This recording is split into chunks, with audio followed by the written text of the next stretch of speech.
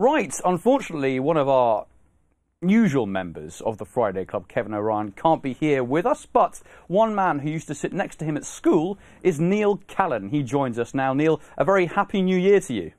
Yeah, happy new year, guys. I hope your Christmas and your New Year were excellent. Um, let's just start firstly on, your fine run of form recently. You must be very much enjoying yourself. I think it's five from your last eight uh, rides. You've had winners in uh, Bahrain.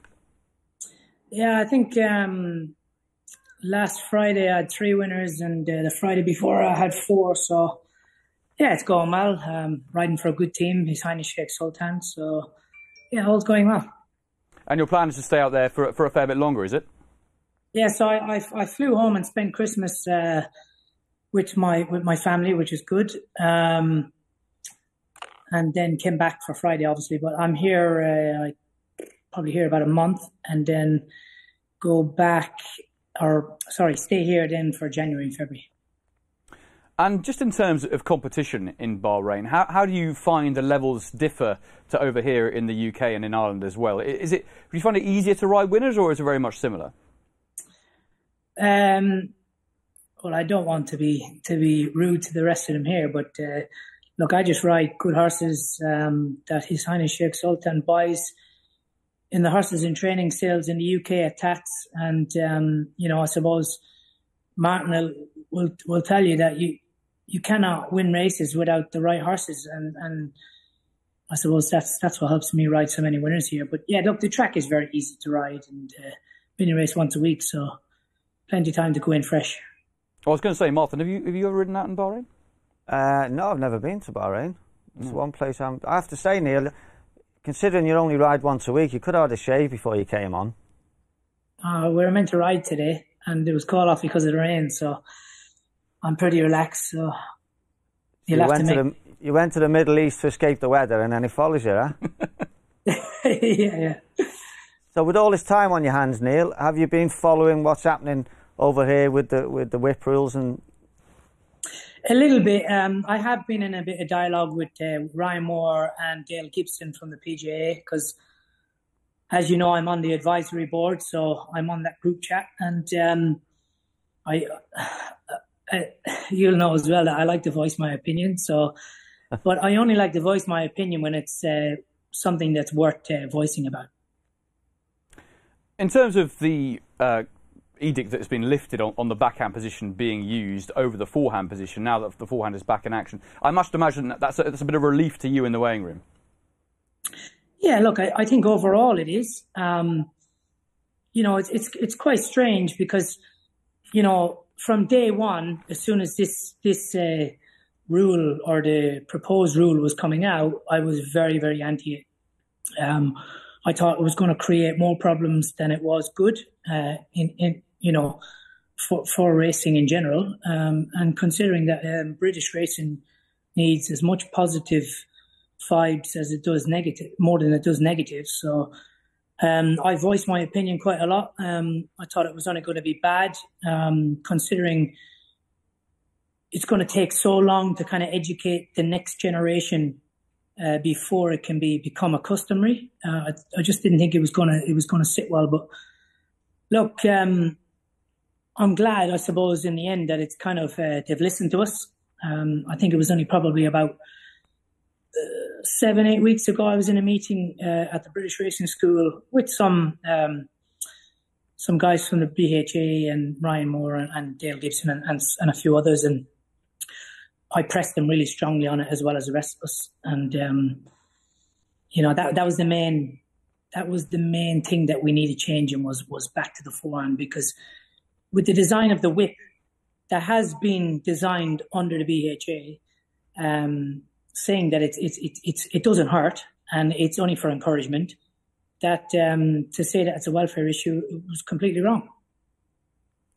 Would you say, with the restrictions as they are now, with the status quo back in place, we've obviously seen that the this number of strikes we're allowed to use has been reduced by one. But in the current guise, do you think we're in a good place with the whip as it stands? Yeah, I think we were in a good we were in a good place before as it was anyway. And I think if you look over the last 10, 15 years, and now just if you look at it, I have only been back in, in the UK for a whole full season. So if you look back to when I rode in 2011, right up to the current day, I think if you look at the stats, not data, like they keep going on about this data. Everything now is data, data, data. It's not. Just look back and see how many uh, transgressions there's been on the higher end is very, very minimal. And um, I think it's been policed very well.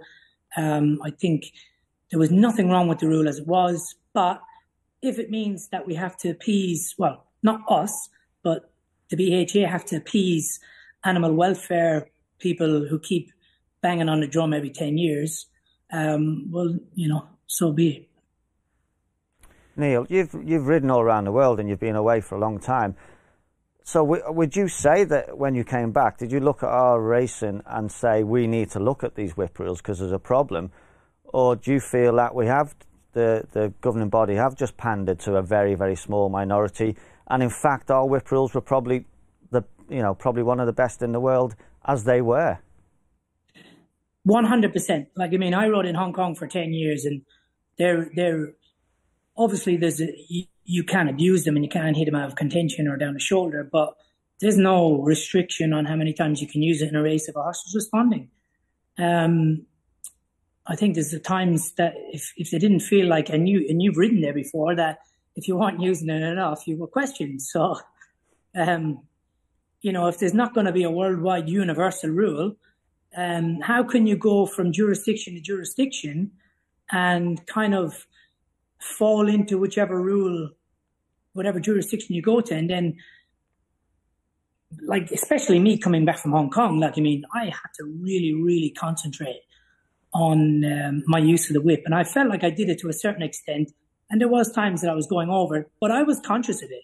But I was just trying my best, obviously, to win, and trying my best to within within the rules. And I felt like I did that, and I felt like when I came back, that everybody else and that rule as it stood at the time, before these new rules came in, I didn't see anything wrong with them at all.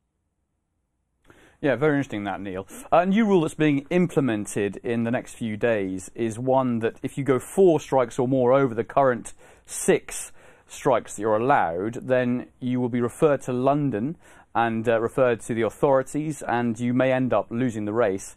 So, for example, if you're riding in the Queen Anne and you rode a winner, and you went to pick up the trophy, you might go and pick up the trophy and know you're going to lose it. What, what do you make of that? Well, this is obviously just to protect uh, the betting um, purely. Um, so whether the BHA are covering their own backs on that respect because they've had pressure from the, the betting operations, um, I very highly believe that.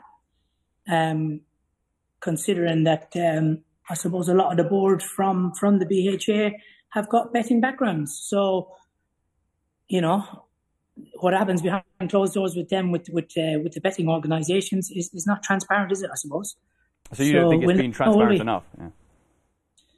On certain aspects, no, and um, I think that's probably been the biggest issue, and this is why there's been so many of us uh, lobbying or um, you know, uh, complaining, or not, I suppose kind of complaining, um, but lobbying against, um, you know, um, certain things like, like look at, look at the, the, the, rule that came out and then they, they changed it. And then obviously the, the media and the press said, oh, the BHA have backtracked. And then you see, uh, today that, uh, David Jones, the, the non-exec director of the BHA has come out and said, well, no, it wasn't the BHA. Everybody was on the, the chairing, the steering group, blah, blah, blah, and everyone is aware. But it's always the way. Like everybody, they've, they've come out today and deflected, but it's been changed. We voice our concerns. Now it's done and dusted, but yet they have to come out and have the last say to kind of deflect everything away from them and half put the blame back towards us saying that, oh, well, we knew about it and, you know, we were in the discussions and, you know, it's, it's just, you know, transparency is, is, is a big issue, I think, and always it's has quite, been. It's quite frustrating, Neil, isn't it? Because a lot of people have said, why are jockeys only complaining about it now?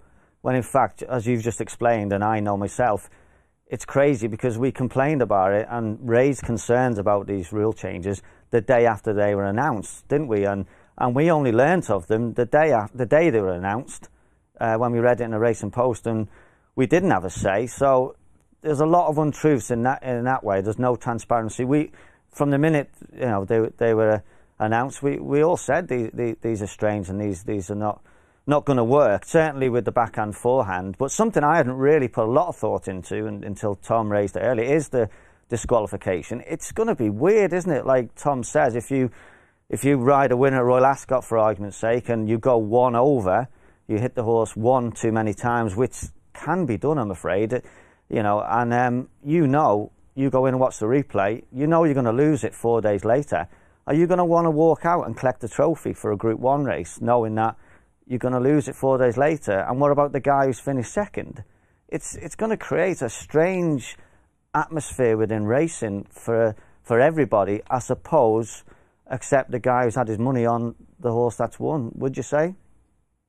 Well, no, um, I, am not sure if that's the case, though. Is it if you go one over, that it's disqualification? I think if you go four over the permitted level, then you're looking likely to be disqualified. Yeah, sorry, I mean, I mean, you you know, you go, you go, you know, you go over if the you go four level. over, which is yeah. a complete disregard.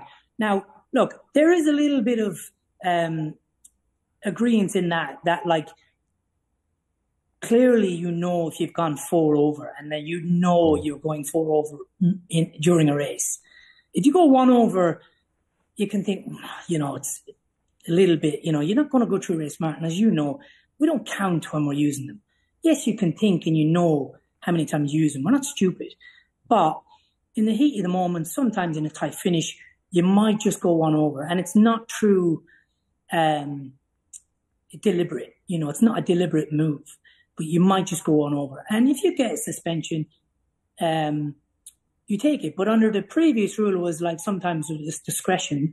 Now, this is where I think transparency is the key because if you go one over six months ago or a month ago, you might get away with it or you might not. Whereas now, if you go one over, you're going to get suspended. Now that's that's fair enough because this is the rule. You know as it is. It's black and white. I can agree with that.